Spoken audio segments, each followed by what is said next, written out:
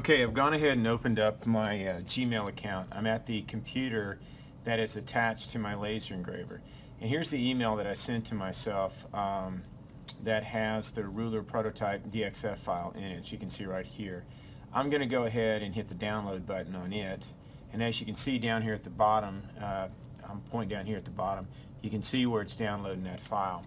So what I'm going to do is I'm going to go ahead and open uh, or show this in the folder and it shows it right here in the folder. In fact, it's already selected. So what I'm going to do now is I'm going to right mouse click this and I'm going to cut that file out. I'm going to come down here to my desktop, click on my desktop, right mouse click and show desktop. And I'm just going to go ahead and put it out here on my desktop. I'll paste it on here and you can see the DXF file here. I'll just kind of move this around and see a little bit better. Alright, now what I'm going to do is go ahead and open up RD Works. Now I'm not guaranteeing this is going to work uh, as I bring it up, but RD Works is the uh, software that controls the laser. Now with that done, I'm going to come over here and I'm going to import. I can do a Control I and I can come out here to my desktop and I've got a few DXFs out there already but it looks like uh, this is the latest one here. Yep, that's the one that I worked on on my uh, computer at home, as you can see. We're going to go ahead and open it up. Let's see if it opens it up and gets all the graphics in it. Uh, okay, let me zoom up here and just kind of pan along. Yeah, it looks like it, it came in just fine. Let me kind of zoom out here a little bit. One second here. Zoom out Just got to catch up here for a second.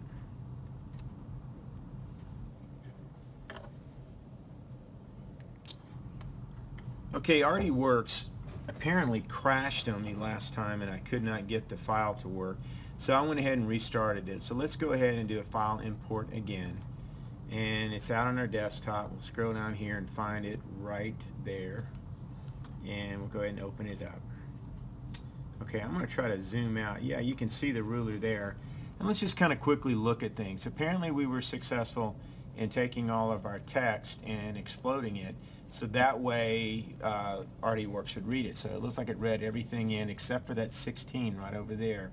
It did not take that. Okay, so we got a problem. Here's how we're going to fix it. So I'm going to come over here and I'm going to key in AutoCAD. and I'm going to open up the AutoCAD application on my desktop.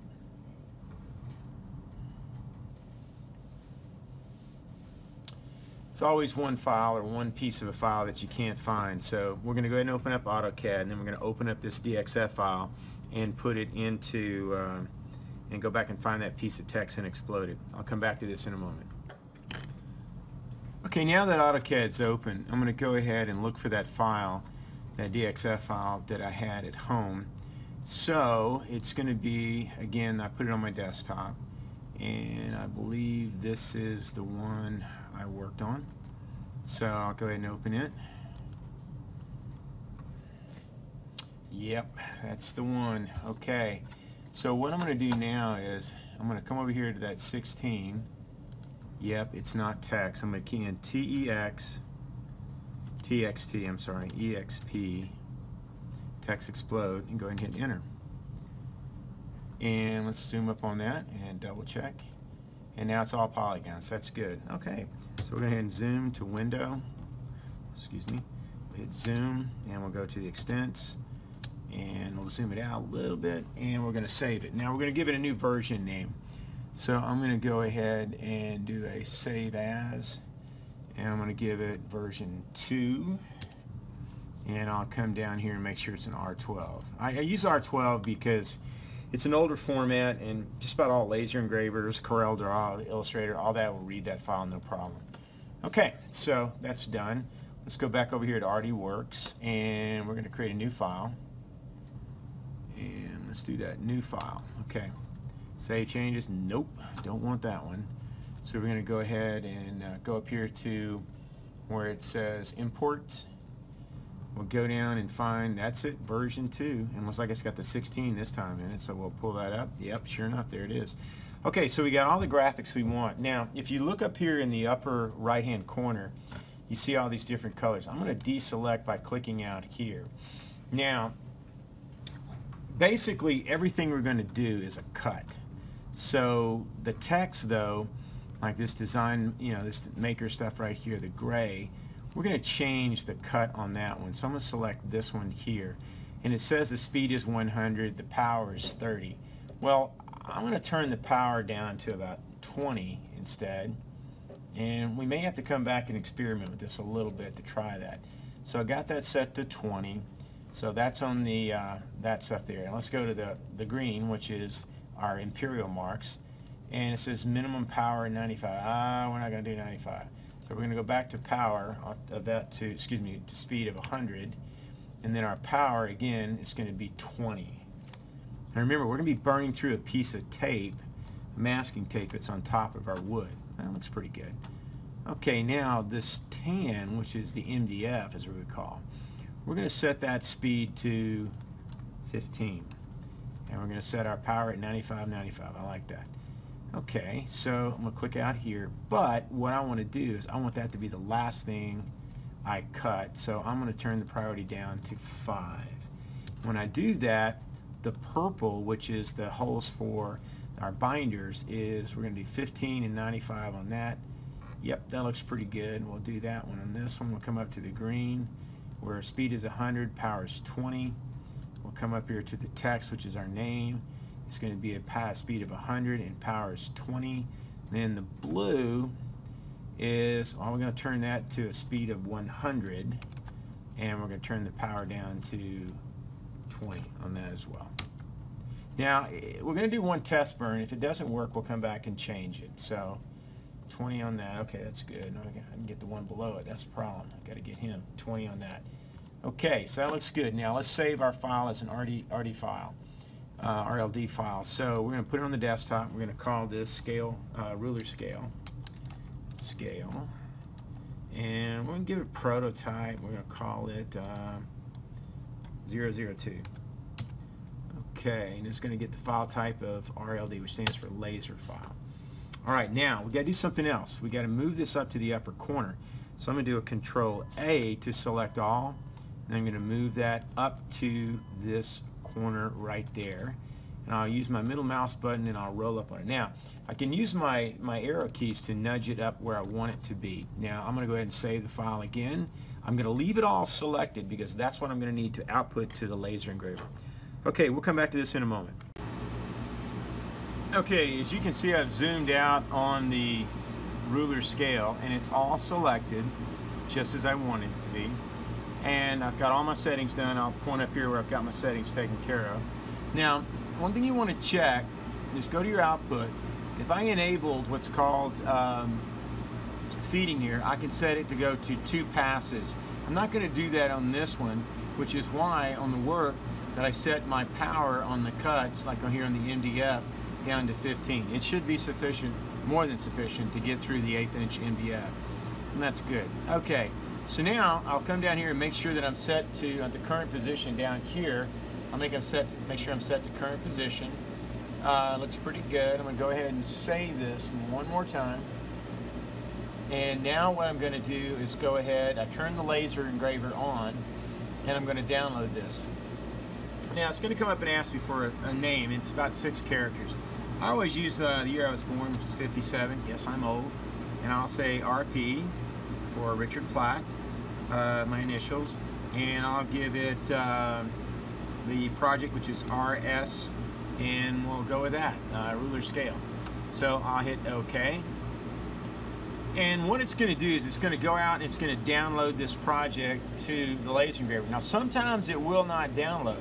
When it does that, when it when it will not download, it means that there are more than uh, it's it's filled up the, the memory on the laser engraver controller. You can have only up to 99 files on the laser engraver, which I know that sounds like a lot. It is a lot. You don't need that many files on your laser engraver. But make sure that you have that cleared off from the controller on the laser engraver, and I'll try to set that up and show you here in a second. So let's go ahead and hit OK. All right, so now We'll move over to the laser engraver and we'll take it from there. Okay, what I went and did is I went ahead and cut out these uh, strips. These are about a foot long, a little bit longer than I needed to. And instead of being an inch and a quarter, I went ahead and made them an inch and a half. so I can optimize my material that I'm using. So I went in and cut out four of these and then I took two of them and I coated them with uh, masking tape. Here I'm using the blue painter's tape. Again, I did it on both sides so that when the laser burns through for the holes for the uh, binder holes, binder ring holes, and also when it burns through for cutting out the edge of the laser, I won't get any resin mildew, excuse me, mil, any resin buildup, I meant to say, on both sides of the piece. So that way it minimizes any kind of sanding and prep I have to do. So I'm going to go ahead and uh, crank, I got the laser cranked up. I'm going to set this guy over on here and we'll get started.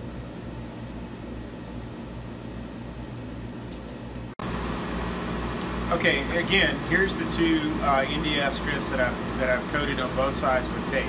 So that way burns through, I won't have stains on the bottom and mess up my paper when I'm drafting. Here's two pieces that I cut that are an inch and a half by uh, 12 inches that I can use for later when I test this out. Okay, now, if you come over here and you look, uh, I've gone ahead, it's actually number 34, it says 57 RPRS. So it actually loaded it, and you can see a preview of it right here on the, uh, on the controller here on the Rabbit laser engraver. So what I'm going to do is go ahead, I've got it selected, and hit enter, it's going to load that ruler up. And you can see all the marks, and you can see all the stuff we had set up and RD Works there. So I'm going to go ahead and lift up the screen here. And I'm going to set this guy right here. Make sure I got it up at the corner. As you can see, I've got my corner dot right down on top of the. That's basically where I want it. Okay, check a few things here, make sure that's all flat. Always want to make sure your tape's good and flattened out.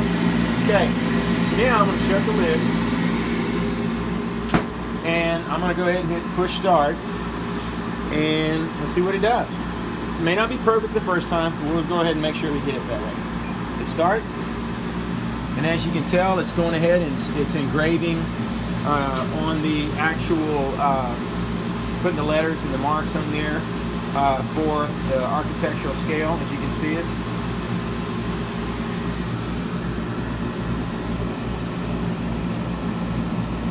Now this is a pretty big file, it's going to take a while, so we're going to come back to that here in a moment. We'll go ahead and stop for now. Okay, I went ahead and lasered out the, uh, the ruler, and as you can see right here, it turned out really, really nice. By putting tape on the back side, we had no resin burn through, as you see right here. All the numbers came in correctly, all the uh, scale marks came in fine. It turned out great, fits in our notebook, and now what I'm going to do is go ahead and laser out another one. Again, once we've got it set up and going, all you got to do is just hit start. And as you can tell, making another ruler, scale. Okay, so here's our ruler and our scale that we've done. And remember, I had to offset these down a little bit because I didn't want to interfere with the numbers that you see up here. So let's check it out and see if it works in our portfolio binder. I open this up. I'm going to put the small side in here like that and put it there. Yep, it fits perfectly. And that's the goal that we tried to achieve is to get this uh, ruler scale inside our binder so it doesn't hang out on both sides and it fits perfectly. That's the, that's the goal of the project right there.